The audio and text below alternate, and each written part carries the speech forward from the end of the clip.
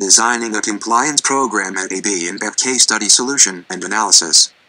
This case is about Harvard Case Study Analysis Solution. Case analysis include these sections. Introduction, Background, SWOT Analysis, Porter 5 Forces Strategic Analysis, Alternatives, Proposed Solution, Recommendations. Please place an order on our website to get custom and plagiarism free case study solution and analysis for designing a compliance program at AB InBev. Thanks for watching this video.